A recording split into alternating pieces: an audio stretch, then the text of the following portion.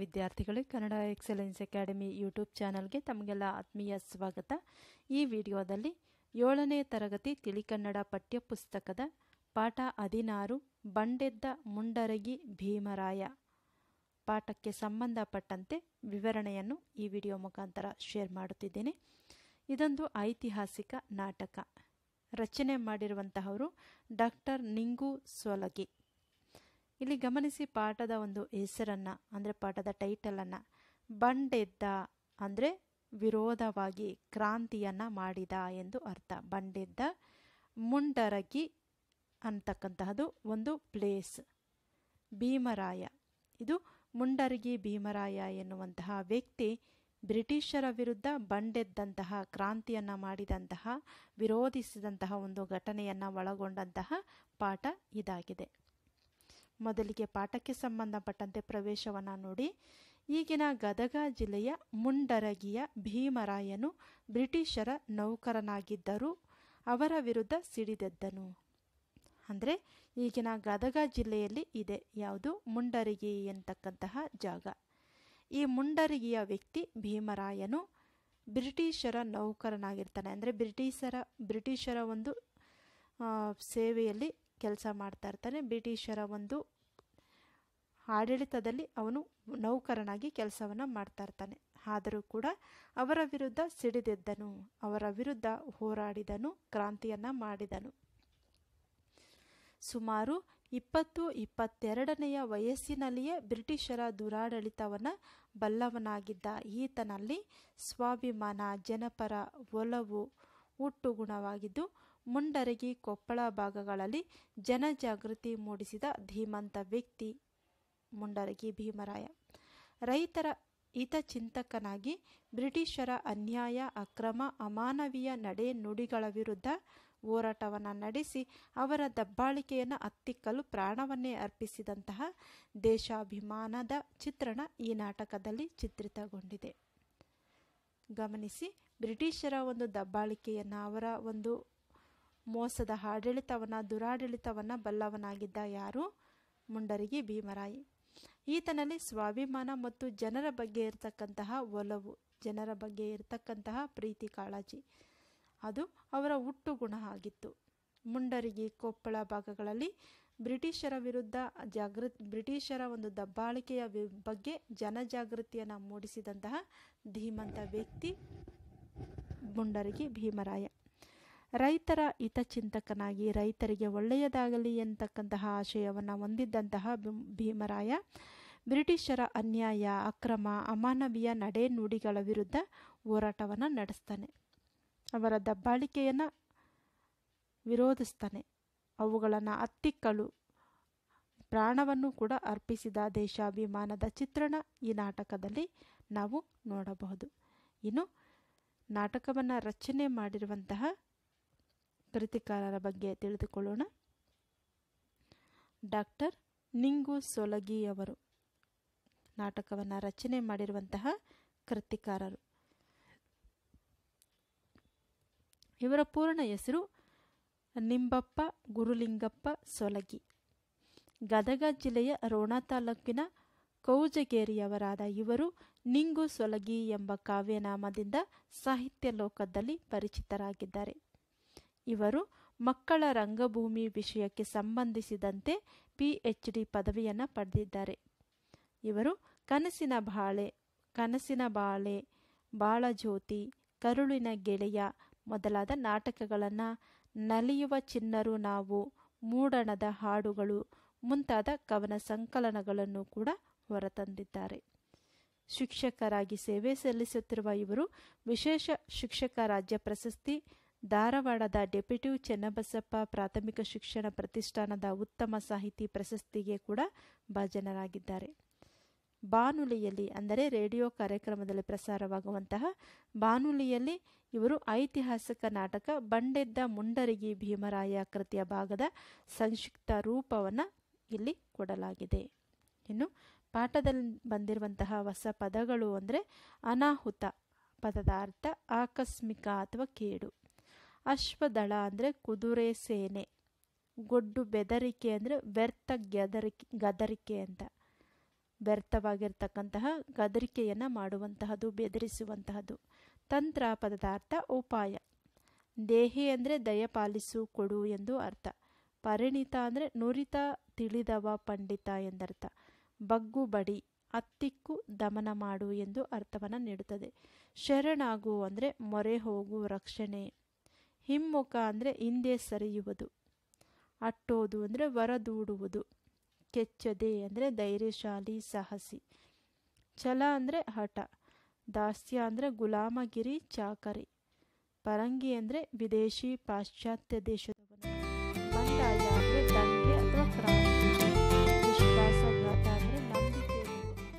ಸಜ್ಜಾಗು ಪದದ ಅರ್ಥ ಸಿದ್ಧನಾಗು. ಹೊಂಚು ಹಾಕು ಅಂದರೆ ಸಂಚು, ಹೂಡು ಎಂದು ಅರ್ಥ. ಇನ್ನು ಟಿಪ್ಪಣಿ ಪದಗಳನ್ನು ಗಮನಿಸಿ. ಗೆರಿಲ್ಲಾ ಯುದ್ಧ ಅಂದರೆ ಯಾವುದೇ ಮುನ್ಸೂಚನೆಯನ್ನು ನೀಡದೆ ಮರೆಯಲ್ಲಿ ನಿಂತು ಶತ್ರುಗಳ ಮೇಲೆ ದಾಳಿಯನ್ನು ಮಾಡುವಂತಹದ್ದು. ಅಂದರೆ ಗೆರಿಲಾ ಯುದ್ಧ ಅಂದರೆ ಮರೆಯಲ್ಲಿ ಅಡಗಿಕೊಂಡು ಶತ್ರುಗಳ ಮೇಲೆ ದಾಳಿಯನ್ನು ಮಾಡುವಂತಹದ್ದು. ಇನ್ನು ಕಣ್ಣಲ್ಲಿ ಎಣ್ಣೆ ಹಾಕಿಕೊಂಡು ಅಂದರೆ ಜಾಗರೂಕತೆಯಿಂದ ಎಚ್ಚರವಾಗಿರುವುದು. ಕಣ್ಣು ಮುಚ್ಚಿ ಕುಳಿತಿರು ಅಂದರೆ ಮೈ ಮರೆತು ಇರುವುದು. ಕಣ್ಣು ಮುಚ್ಚಿ ಕುಳಿತಿರು ಅಂದರೆ ಮೈ ಮರೆತು ಇರುವುದು. ಕಲೆಕ್ಟರುಗಳು ಅಂದರೆ ಬ್ರಿಟಿಷರ ಕಾಲದಲ್ಲಿದ್ದ ತೆರಿಗೆ ಅಧಿಕಾರಿಗಳನ್ನು ಕಲೆಕ್ಟರುಗಳು ಎಂದು ಕರೆಯುತ್ತಾರೆ. ಇನ್ನು ಪಾಠವನ್ನು ಓದುವುದರ ಮೂಲಕ ಸಾರಾಂಶವನ್ನು ಕೂಡ ನೋಡೋಣ. ಸೊಗಸಾಗಿ ಮೂಡಿ ಬಂದಿದೆ ಈ ಒಂದು ನಾಟಕದ ದೃಶ್ಯಗಳು. ದೃಶ್ಯ ಒಂದರಲ್ಲಿ ಗಮನಿಸಿ. ನಾಟಕಕ್ಕೆ ಸಂಬಂಧಪಟ್ಟಂತೆ ದೃಶ್ಯ ಒಂದು.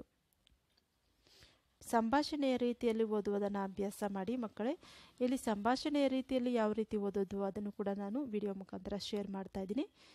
ಬ್ರಿಟಿಷ್ ಅಧಿಕಾರಿಯ ಕಾರ್ಯಾಲಯ ಪಾಶ್ಚಾತ್ಯ ಸಂಗೀತದ ಹಿನ್ನೆಲೆ.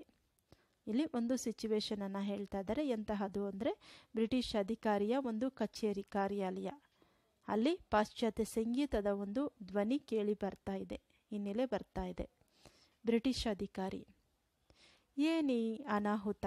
ರಾಯಚೂರು ಧಾರವಾಡ ಕಲೆಕ್ಟರ್ಗಳು ಕಣ್ಣಲ್ಲಿ ಎಣ್ಣೆ ಹಾಕಿಕೊಂಡು ಕೊಪ್ಪಳ ಕೋಟೆ ಕಾಯುತ್ತಿದ್ದೇವೆ ಎಂದಿದ್ದರು.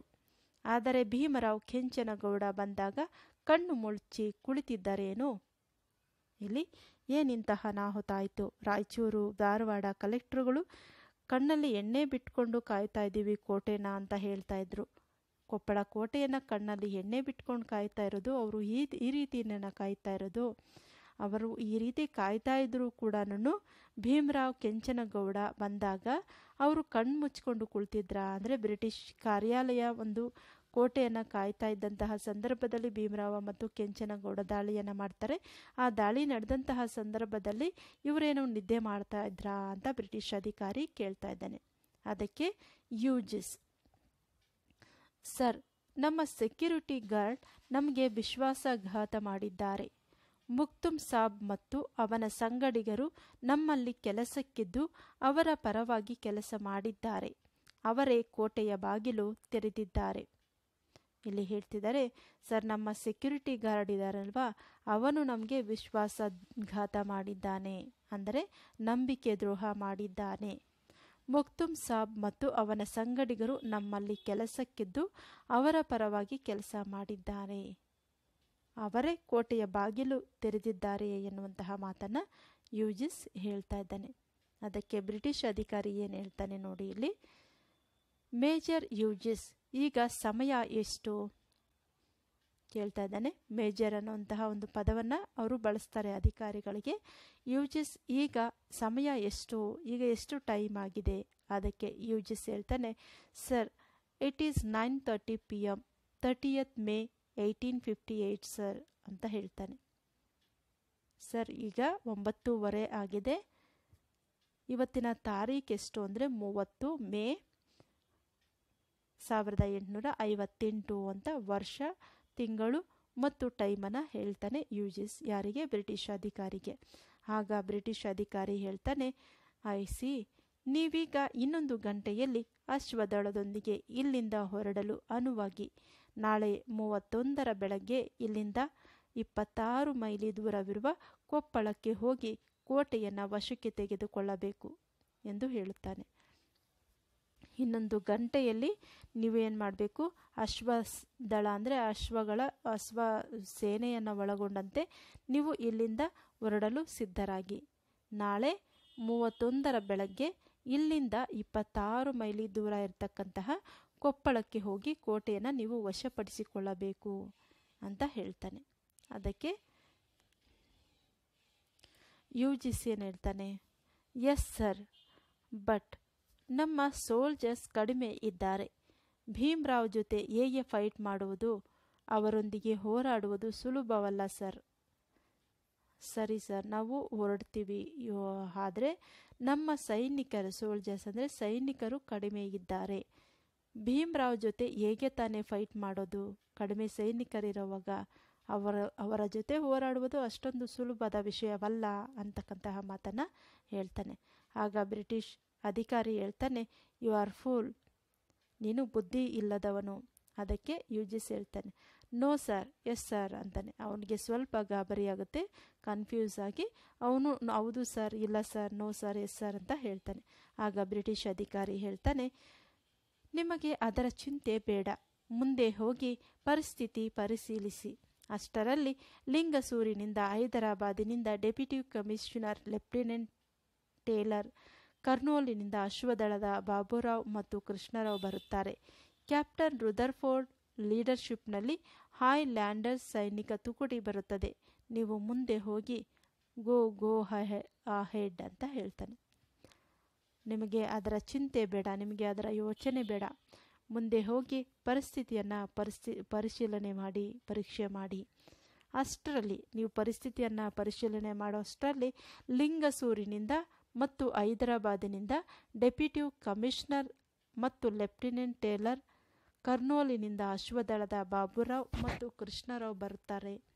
ಕ್ಯಾಪ್ಟನ್ ರುದರ್ಫೋರ್ಡ್ ಲೀಡರ್ಶಿಪ್ನಲ್ಲಿ ಹಾಯ್ ಲ್ಯಾಂಡರ್ ಸೈನಿಕ ತುಕುಡಿ ಕೂಡ ಅಲ್ಲಿಗೆ ಬರುತ್ತೆ. ಒಂದು ಸೋಲ್ಜರ್ಸ್ ಟೀಮ್ ಇದು.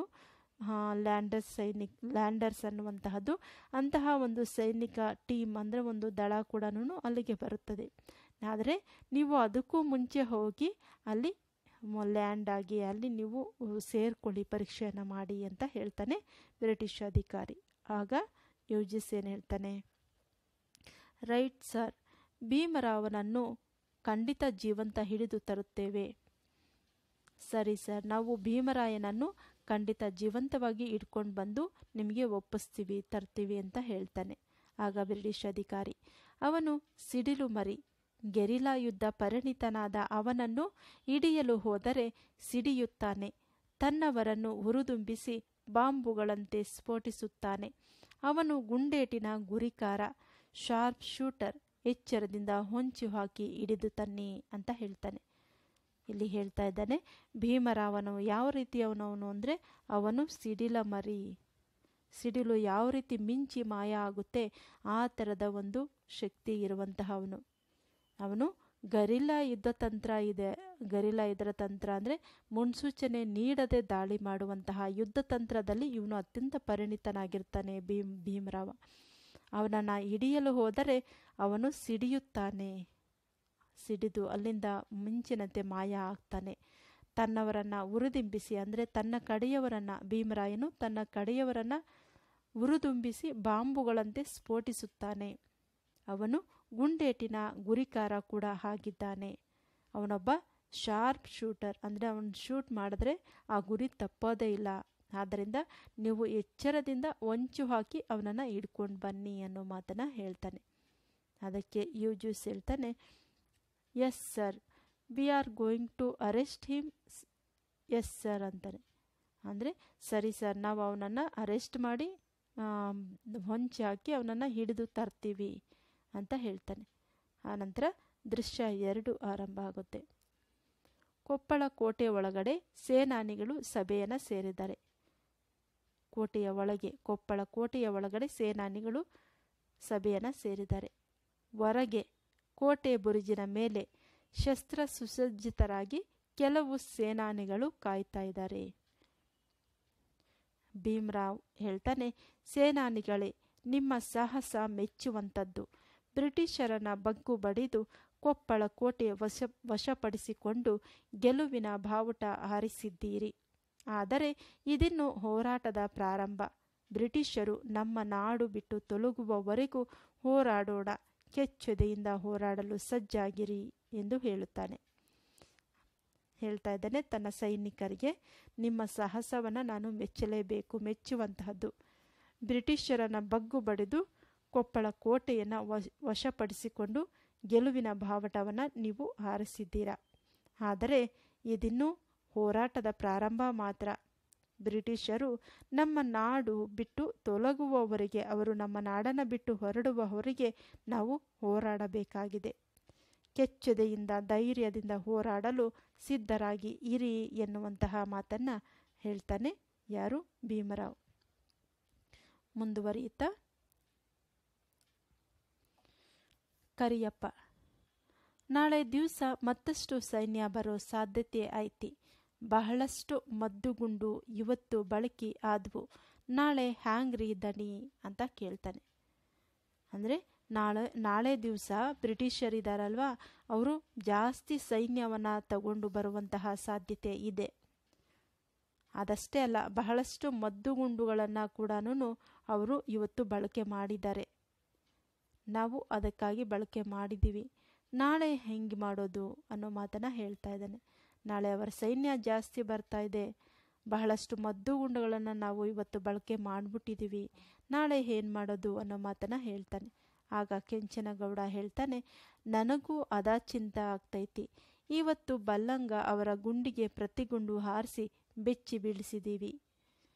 ನನಗೂ ಕೂಡ ಅದೇ ಚಿಂತೆ ಆಗ್ತಾ ಇದೆ. ಇವತ್ತು ಬಲ್ಲಂಗ ಅವರ ಗುಂಡಿಗೆ ಪ್ರತಿ ಗುಂಡಿ ಹಾರಿಸಿ ಬೆಚ್ಚಿ ಬೀಳಿಸ್ತೀವಿ ನಾವು.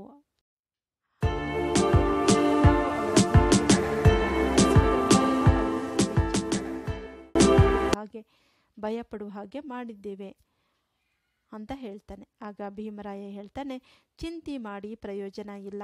ನಾವು ಏಳು ಸುತ್ತಿನ ಕೋಟಿ ಒಳಗ ಅದೀವಿ.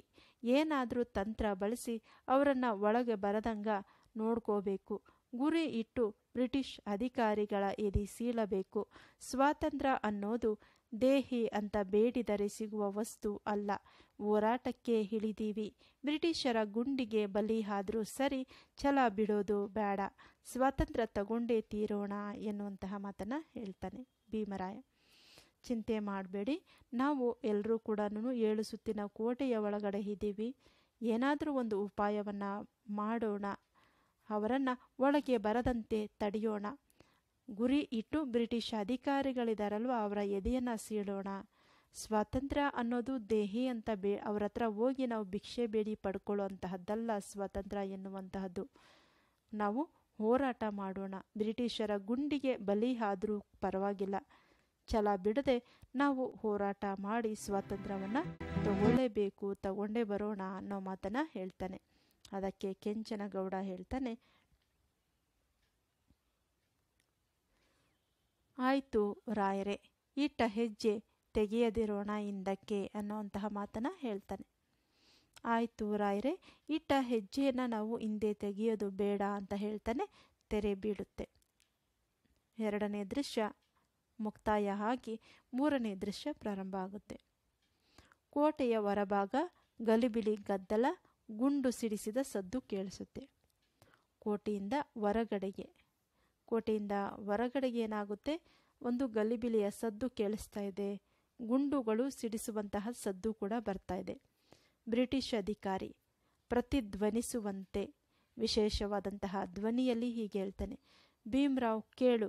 ಇನ್ನು ಮೂರು ಗಂಟೆಗಳಲ್ಲಿ ಕೋಟೆಯ ಒಳಗೆ ಇದ್ದವರೆಲ್ಲ ಹೊರಗೆ ಬಂದು ಕೋಟೆಯನ್ನು ವಕೇಟ್ ಮಾಡಿ. ಸರೆಂಡರ್ ಆಗದಿದ್ದರೆ ಗಂಭೀರ ಪರಿಣಾಮ ಎದುರಿಸಬೇಕಾದೀತು ಎಚ್ಚರ ಎನ್ನುತ್ತಾನೆ. ಅಂದರೆ ಅವನು ಜೋರಾದ ಗಟ್ಟಿಯಾದ ಧ್ವನಿಯಲ್ಲಿ, ವಿಶೇಷವಾದ ಧ್ವನಿಯಲ್ಲಿ ಹೇಳ್ತಾನೆ, ಭೀಮರಾಯ ಕೇಳು, ಇನ್ನು ಮೂರು ಗಂಟೆಗಳ ಒಳಗಡೆ ನೀನು ಕೋಟೆಯಲ್ಲಿರ್ತಕ್ಕಂತಹ ಎಲ್ಲರನ್ನೂ ಕೂಡ ಹೊರಗಡೆ ಕಳಿಸಿ, ನೀನು ಕೂಡ ಹೊರಗಡೆ ಬಂದು ಕೋಟೆಯನ್ನು ಖಾಲಿ ಮಾಡಿ ನಮಗೆ ಸರೆಂಡರ್ ಆಗಬೇಕು. ಇಲ್ಲ ಅಂದರೆ ಗಂಭೀರವಾದಂತಹ ಪರಿಣಾಮ ಎದುರಿಸಬೇಕಾಗುತ್ತೆ, ಗಂಭೀರವಾದಂತಹ ಸಮಸ್ಯೆನ ನೀವು ಎದುರಿಸಬೇಕಾಗುತ್ತೆ ಅನ್ನೋ ಮಾತನ್ನು ಹೇಳ್ತಾನೆ. ಆಗ ಭೀಮರಾಯ ಹೇಳ್ತಾನೆ ಹೇ ಹೇ ಹೇ, ನಿಮ್ಮ ಗೊಡ್ಡ ಬೆದರಿಕೆಗೆಲ್ಲ ಬೆದರಿ ಗೊತ್ತಿಲ್ಲ ಈ ಭೀಮರಾವ್ಗೆ. ನಮ್ಮ ಗುರಿ ಏನಿದ್ರೂ ಈ ನೆಲದಿಂದ ಅಟ್ಟೋದೊಂದೇ. ಗೆದ್ರೆ ಸ್ವಾತಂತ್ರ್ಯ ಸತ್ರೆ ವೀರ ಸ್ವರ್ಗ, ಎನ್ನುತ್ತಾನೆ. ಅವನು ಜೋರಾದಂತಹ ನಗೆಯನ್ನು ನಗ್ತಾನೆ. ಒಂದು ನಗುವನ್ನು ನಗ್ತಾನೆ. ಅಂದು ನಿಮ್ಮ ಗೊಡ್ಡ ಬೆದರಿಕೆಗೆಲ್ಲ ಕೂಡ ನಾವು ಬೆದರಿಕೊಳ್ಳುವುದಿಲ್ಲ. ಆ ಬೆದರಿಕೊಳ್ಳುವಂತಹ ವಿಷ, ವಿಷಯ ನಮಗೆ ಗೊತ್ತೇ ಇಲ್ಲ. ಅದರಲ್ಲೂ ಈ ಭೀಮರಾವನ್ಗೆ ಹೆದರಿಕೆ ಎಂಬುದು ಗೊತ್ತಿಲ್ಲ. ನಮ್ಮ ಗುರಿ ಏನಿದ್ರೂ ಕೂಡ ಈ ನೆಲದಿಂದ ಅಟ್ಟೋದು ಯಾರನ್ನ ಬ್ರಿಟಿಷರನ್ನ ಗೆದ್ರೆ ಸ್ವಾತಂತ್ರ್ಯ ಸತ್ರೆ ವೀರ ಸ್ವರ್ಗ ಅನ್ನೋ ಮಾತನ್ನು ಹೇಳ್ತಾನೆ. ಅದಕ್ಕೆ ಬ್ರಿಟಿಷ್ ಅಧಿಕಾರಿ ಹೇಳ್ತಾನೆ, ಬ್ರಿಟಿಷ್ ಭೀಮ್ರಾವ್, ನೀನು ಸಾಗರಕ್ಕೆ ಸೇತುವೆ ಕಟ್ಟುವ ಸಾಹಸಕ್ಕೆ ಕೈ ಹಾಕಿದ್ದೀಯ? ನಿನ್ನ ಬಂಡಾಯದಿಂದ ಏನು ಪ್ರಯೋಜನವಿಲ್ಲ? ಬಾ ಹೊರಗೆ. ಕೋಟೆ ಬಿಟ್ಟು ಕೊಟ್ಟು ಶರಣಾದರೆ ನಿನಗೆ ಕಂಪನಿ ಸರ್ಕಾರ ಉತ್ತಮ ಸ್ಥಾನ ನೀಡಿ. ಚೆನ್ನಾಗಿ ಟ್ರೀಟ್ ಮಾಡುತ್ತದೆ ಎನ್ನುತ್ತಾನೆ. ಬ್ರಿಟಿಷ್ ಅಧಿಕಾರಿ ಅವನಿಗೆ ಆಸೆಯನ್ನು ತೋರಿಸ್ತಾ ಇದ್ದಾನೆ. ಏನಂತ ಅಂದರೆ, ನೀನು ಸಾಗರಕ್ಕೆ ಸೇತುವೆ ಅಂದರೆ ಸಮುದ್ರಕ್ಕೆ ಸೇತುವೆಯನ್ನು ಕಟ್ಟುವಂತಹ ಪ್ರಯತ್ನ ಮಾಡ್ತಾ ಇದೆಯಾ? ಅದೊಂದು ವ್ಯರ್ಥ ಪ್ರಯತ್ನ. ನಿನ್ನ ಬಂಡಾಯದಿಂದ, ನಿನ್ನ ಕ್ರಾಂತಿಯಿಂದ ಏನೂ ಕೂಡ ಪ್ರಯೋಜನ ಆಗುವುದಿಲ್ಲ. ಕೋಟೆಯಿಂದ ಹೊರಗೆ ಬಂದು ಬಿಡು. ಕೋಟೆಯನ್ನು ಬಿಟ್ಟು ಕೊಡು ಬ್ರಿಟಿಷರಿಗೆ. ನೀನೇನಾದರೂ ಬ್ರಿಟಿಷರಿಗೆ ಶರಣಾದರೆ ನಿನಗೆ ಕಂಪನಿ ಸರ್ಕಾರ, ಬ್ರಿಟಿಷ್ ಕಂಪನಿ ಸರ್ಕಾರ ಏನು ಮಾಡುತ್ತೆ?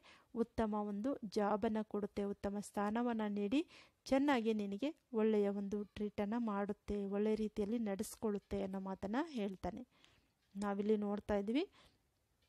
ಕೋಟೆಯನ್ನು, ಕೊಪ್ಪಳ ಕೋಟೆಯನ್ನು ನೋಡ್ತಾ ಇದ್ದೀವಿ. ಪಕ್ಕದಲ್ಲೇ ಮುಂಡರಗಿ ಭೀಮರಾಯನ ಚಿತ್ರವನ್ನು ನೋಡ್ತಾ ಇದ್ದೀವಿ. ಎಂಥ ಸೊಗಸಾದ ಕೋಟೆ ಇದು. ಭೀಮರಾಯ ಕೇಳ್ತಾನೆ, ಹೇ ಪರಂಗಿ, ದೀಪ ಬೆಳಗೋದು ತನಗಾಗಿ ಅಲ್ಲ, ಇತರರಿಗೆ ಬೆಳಕಾಗಲಿ ಅಂತ. ನಮ್ಮ ಹೋರಾಟ ನಮ್ಮ ಜೀವಕ್ಕಲ್ಲ. ನಿಮ್ಮ ದಾಸ್ಯದಿಂದ ಈ ನಾಡಿನ ಬಿಡುಗಡೆಗೆ ನಾವು ಇಟ್ಟ ಹೆಜ್ಜೆ ಹಿಂದಕ್ಕೆ ತೆಗೆಯೋದಿಲ್ಲ. ದಾಸ್ಯದ ಅರಮನೆಗಿಂತ ಸ್ವಾತಂತ್ರ್ಯದ ಸೆರೆಮನೆಯೇ ಲೇಸು. ಕ್ರಾಂತಿ ಎಂದು ಹಿಮ್ಮುಖವಾಗಿ ನಡೆಯೋದಿಲ್ಲ. ಜೈ ಕನಕರಾಯ, ಜೈ ಮೃಡಗಿರೀಶ ಅಂತ ಕೂಗ್ತಾನೆ. ಭೀಮರಾಯ ಹೇಳ್ತಾನೆ, ಹೇ ಪರಂಗಿ, ಅಂದರೆ ಏ ಪರದೇಶಿಯವನೇ ದೀಪ ಬೆಳಗೋದು ತನಗಾಗಿ ಅಲ್ಲ. ಅದು ಬೇರೆಯವರಿಗೆ, ಇತರರಿಗೆ ಬೆಳಕನ್ನು ನೀಡೋದಕ್ಕೆ ಅಂತ. ನಮ್ಮ ಹೋರಾಟ ಕೂಡ ನಮ್ಮ ಜೀವಕ್ಕಾಗಿ ಅಲ್ಲ. ನಿಮ್ಮ ದಾಸ್ಯದಿಂದ, ನಿಮ್ಮ ದಾಸ್ಯದ ಸಂಕೋಲೆಯಿಂದ ಈ ನಾಡಿಗೆ ಬಿಡುಗಡೆಯನ್ನು ಕೊಡಿಸುವುದು. ನಾವು ಇಟ್ಟಂತಹ ಹೆಜ್ಜೆಯನ್ನು ಹಿಂದಕ್ಕೆ ತೆಗೆಯೋ ಮಾತೇ ಇಲ್ಲ. ದಾಸ್ಯದ ಅರಮನೆಗಿಂತ, ನಿಮ್ಮ ದಾಸ್ಯದಲ್ಲಿ ಬದುಕುವಂತಹ ಸಿರಿತನಕ್ಕಿಂತ ಅರಮನೆಗಿಂತ ಸ್ವಾತಂತ್ರ್ಯ ಪಡೆದಂತಹ ಸೆರೆಮನೆಯೇ ನಮಗೆ ಲೇಸು. ಕ್ರಾಂತಿ ಎಂದೂ ಕೂಡ ಹಿಂದೆ ಹಿಮ್ಮುಖವಾಗಿ ನಡೆಯುವುದಿಲ್ಲ. ಹಿಮ್ಮುಖವಾಗಿ ಅಂದರೆ ಕ್ರಾಂತಿ ಹಿಂದಕ್ಕೆ ತೆಗೆದುಕೊಳ್ಳುವಂತಹ ಮಾತೇ ಇಲ್ಲ ಅಂತ ಹೇಳಿ ಜೈ ಕನಕರಾಯ, ಜೈ ಮುಣ್ ಮೃಡಗಿರೀಶ ಅಂತಕ್ಕಂತಹ ದೇವರನ್ನು ನೆನೆಸ್ಕೊಳ್ತಾನೆ ಅವರ ಮನೆ ದೇವರನ್ನು. ಅದಾದಮೇಲೆ ಕೆಂಚನಗೌಡ ಹೇಳ್ತಾನೆ, ಜೈ ವೀರಭದ್ರ, ಜೈ ಮುಂಡರಗಿ, ಮೃಡಗಿರೀಶ, ಗುಂಡಿನ ಕಾಳಗ, ಸೈನಿಕರು ಉರುಳಿ ಬೀಳುವರು ಕೆಂಚನಗೌಡನಿಗೆ ಗುಂಡೇಟು ಬೀಳುವುದು. ಇಲ್ಲಿ ಕ್ರಾಂತಿ ಸ್ಟಾರ್ಟ್ ಆಗುತ್ತೆ. ಜೈ ವೀರಭದ್ರ ಅಂತ ದೇವರನ್ನು ನಿಲ್ಲಿಸ್ಕೊಂಡು, ಜೈ ಮೃಡಗಿರೀಶ ಅಂತ ಹೇಳಿದ ತಕ್ಷಣನೇ ಗುಂಡಿನ ಕಾಳಗ ಪ್ರಾರಂಭ ಆಗುತ್ತೆ ಬ್ರಿಟಿಷರಿಗೆ ಮತ್ತು ಕೊಪ್ಪಳ ಸೈನಿಕರ ನಡುವೆ. ಸೈನಿಕರೆಲ್ಲರೂ ಕೂಡ ಉರುಳಿ ಬೀಳ್ತಾ ಇದ್ದಾರೆ. ಕೆಂಚನಗೌಡನಿಗೆ ಗುಂಡೇಟು ಬೀಳುತ್ತೆ. ಕೆಂಚನಗೌಡ, ಹಾ, ಅಯ್ಯೋ, ಅಂತ ಕೆಳಗಡೆ ಬೀಳ್ತಾನೆ. ಭೀಮರಾಯ ಕೆಂಚನಗೌಡ ಅಂತ ಕೂಗ್ತಾನೆ.